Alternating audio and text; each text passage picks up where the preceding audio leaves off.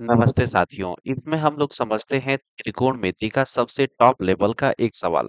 ठीक है? जैसे देखिए, कह रहा है मेरे भाई कि tan थीटा tan थीटा बराबर पाँच बटे में छह दिया है। यदि ऐसा दिया है तो कई तरीके होते हैं। पहला तरीका तो ये होता है बाबू कि इसको हम चेंज कर सकते हैं। किसमें? तो देखिए sine theta upon cos theta में।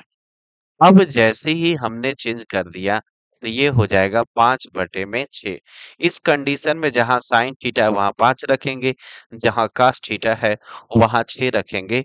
और जैसे ही रख के सॉल्व करेंगे तो हम लोग का आंसर हो जाएगा। जैसे देखिए, यानी कि यहाँ पर देखिए, बारह गुणते साइन थीटा। साइन थीटा का मान यहाँ से पाँच है। देखिए, पाँच है। माइनस पाँच गुणते कास थीटा का मान कितना है? तो कास थीटा का मान छह है। यहाँ छह रख देंगे। बटे में बारह गुणते पाँच प्लस पाँच गुणते छह हो जाएगा। देखिए, इसका मान साठ होगा, इसका मान तीस होगा, घटाएँगे, ऊपर तीस आ जाएगा, नीचे देखिए, इसका मान साठ है, इसका मान तीस है, जोड़ देंगे, नब्बे हो जाएगा और तीस से एक बार में कटेगा और ये तीन बार में कटेगा फाइनल उत्तर एक बटे में तीन हो जाएगा।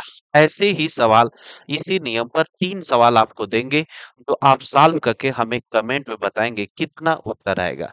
जैसे ये सवाल है, इसको आप ज़रूर सॉल्व करिएगा। काट ए बराबर ए बाई बी है तो इतना है।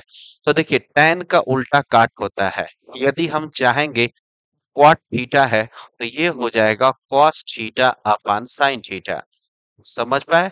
और जैसे ही ये हो जाएगा तो ये हो जाएगा ए बाई बी यहाँ साइन थीटा का मान बी होगा और कास थीटा का मान ए होगा, यहाँ पर रख दीजिएगा। और जैसे ही हल करेंगे तो a माइनस बी बटे में a प्लस बी आ जाएगा। इसी आधार पर यह सवाल है, इसको ज़रूर बनाइएगा कि फाइव टेन अल्फ़ा बराबर फोर तो इतने का मान बताइए कुछ नहीं करना है, बस ये फाइव जो है, यहाँ नीचे ला देंगे, उसके बाद साइन अल्फ़ा बटे कास अल्फ़ा हल कर देंगे, उत्तर आ जाएगा।